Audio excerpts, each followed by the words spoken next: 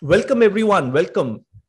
Good morning, good evening, wherever you have joined from. I know there are so many registrations today. We have about 200 people as of now, what I look in the Zoom participant section, and hopefully this will go up. Thanks very much. I hope this next 60 minutes is worth your time. Just to give you a quick background about today's session, let me just check if microphone is all good. Yeah, okay. So the background is I decided to do this webinar in two part series. Part one focused on query tuning aspects, and I talked about statistics, indexes, and tweaking the query. Now, you might think that, oh, again, indexes, again, stats, and all that basic stuff.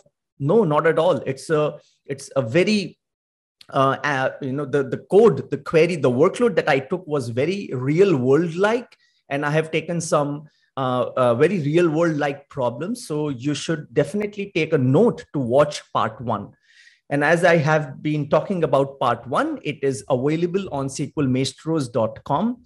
You can just uh, log on to the website, go to the video courses section, scroll down, and locate part one. And um, yeah, uh, some of our friends are putting the links down in the chat window, and you can use it. Part one and part two are totally disconnected in sense they're they're uh, different demos and they address different problems. So that was part one about query tuning. What am i doing in part two? Today we are going to talk about server tuning as a whole. Remember both part one and part two is all about the performance tuning and optimization. In part one we dealt with the query itself.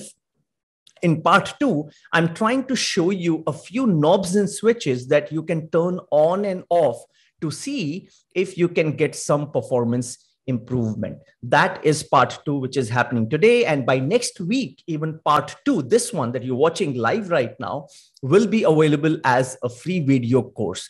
Do not worry about adding the product to the cart. And you know, you might be thinking, oh, I have to punch in my credit card number and all of that. Not at all. They are free. They're priced at zero dollars. So just go and add it to the cart and check out. You don't have to punch in anything, and you you can instantly access those courses. Okay, let's get started with part two now. My name is Amit Bansal, and I have been working with SQL Server for a couple of years now, precisely 25 26 years. I started in late 97 98 kind of uh, and sql server 6.5 was the first version that i worked with. And since then yeah it has been um, a, um, you know a great experience working with this product and seeing it mature over the years. I've done it i've done so many things around sql server. Performance tuning has been one of my core areas of expertise I do performance tuning consulting work along with my team. I, I do a lot of training. I do video courses, hands-on labs, uh, master classes, a lot of all that stuff. Everything is available on sqlmaestros.com. And here are some links in the chat window in case you wish to stay connected with me. Now, let's get started with part two. There are precisely three things that I'm going to show you today in part two. And that's why I you know, kind of term it as top three I mean, you know, top three, top four, or top two uh, could be debatable, but it's just like these are some things that I generally do in SQL Server production boxes.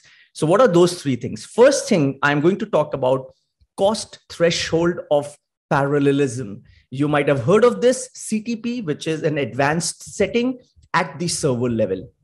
That's the first thing I'm going to play around with. The second thing is going to be read committed snapshot isolation. Um, in short form, you call this as RCSI. So SQL Server has two concurrency models. By default, it is pessimistic concurrency model. And I'm going to show you the optimistic version of that. So we're going to look at optimistic concurrency model. That's the second thing. And the last thing, the third thing that we are going to see, uh, we're going to look at trace flag 4199 and a few things around that. Okay, so time to get started. Are we all ready? Yes. Can I have some few things in chat window if you're all ready to roll on with the demos? Okay, perfect. All settled in. Yes, keep your phones in silent mode or vibration or whatever and see there are no distractions because you're going to love the demos. There are no slides, by the way. Okay, let's get started.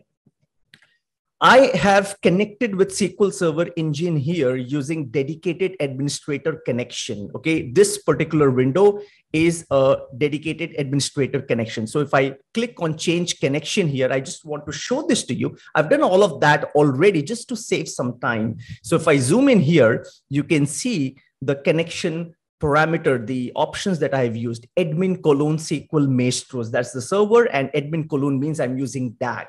Now, some of you who are working in the capacity as a DBA might know what a DAC is. It stands for Dedicated Administrator Connection. When SQL Server goes unresponsive due to whatever reason, you have this as a as a you know kind of a lifesaver to connect to SQL Server and run all sorts of diagnostic stuff. And remember, you are allowed only one DAC connection. So if I try to do this again, it won't work. Also take a note, sometimes connecting with DAC will show up a lot of silly errors and I've just done away with all of that. For example, you can't have Object Explorer open on the left side of SSMS. Oh, no, that doesn't mean that you can open it on the right side. What I mean is Object Explorer cannot be open because Object Explorer uses another connection as you know so you just can't have two dac connections you can have only one dac connection so the easiest way is advanced setting, uh, there is something called as remote admin connection. So let me just jump over here and sh show this to you. Remote admin connections. You need to turn this on and reconfigure. That's the first thing you need to do. And then you open up SSMS, make sure you have turned off Object Explorer, and then just go to the dialog box and connect using admin, okay, colon and the server name. So we're done with that. Now, second thing, and you know, the reason why I am connected with SSMS using DAC here right now, because you know it, we are going to stress SQL Server to the extent that it will become unresponsive. Uh, and then I need to, you know, have a mechanism to go and run some diagnostic queries. Now let's get started. First thing, how many threads are there inside SQL Server at the moment? So if I click on execute, it shows a number like 120, 121, something like that. And these are the number of threads. Thread is the lowest unit of execution. When you send your query to SQL Server, at the least, it requires one thread for its execution. We also kind of use the terminology, the worker thread. Now, all these 121 threads are not necessarily user threads. There are certain background processes that are running, which are consuming these threads, but your user threads are also part of this count that you are seeing. So look at this number 121. Now, there is another concept of waiting tasks and wait stats and all of that. When you send your query to SQL Server, and let's say if it is waiting to acquire a thread, that could be termed as thread pool wait type. Now, um, some of you who might be new to the concept of wait stats and wait types, it might get a little overwhelming to begin with, but I'll just make it very, very simple. In two minutes, you are sending your request to SQL Server, it needs resources. And when it has to wait for resources, thankfully, SQL Server can capture those resources. And uh, sorry, when it's waiting, it, it can capture those waits that you're waiting for a specific resource. So a specific wait type is assigned to all kinds of waiting. For example, your query might be waiting for CPU, it might be waiting for IO, it might be waiting for memory. So there are so many dozens of these wait types that are like classified inside SQL Server, and you can track them, you can monitor them, and you can record them, so on and so forth.